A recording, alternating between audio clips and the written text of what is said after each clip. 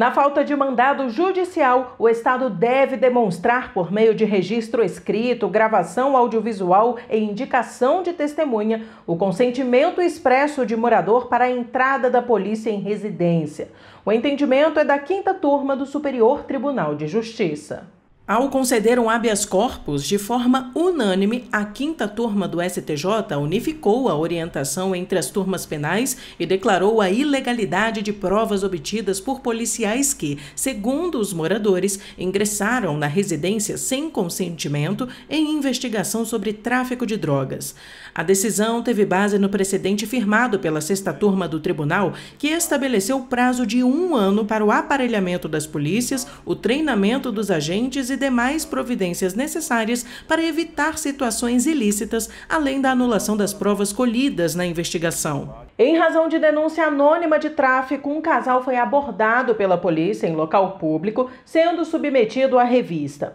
Como não foi encontrado nada ilegal, o casal foi conduzido até a casa onde morava e, após suposta autorização, os policiais entraram no imóvel e descobriram 110 gramas de cocaína e 43 gramas de maconha. De acordo com a defesa, não houve consentimento para a revista domiciliar. O Tribunal de Justiça do Rio Grande do Sul acolheu o argumento de que houve autorização dos moradores e considerou legal a busca domiciliar sem a apresentação de mandado judicial em razão da natureza permanente do delito de tráfico de drogas. No voto, o relator do habeas corpus na quinta turma, ministro Ribeiro Dantas, afirmou que, no caso de confronto entre a versão policial e a do morador sobre o suposto consentimento, considerando as situações de constrangimento ilegal que costumeiramente ocorrem contra a população mais pobre, essa dúvida não pode ser resolvida em favor do Estado. O ministro citou precedentes do STJ e pontuou que a justa causa para a realização de busca domiciliar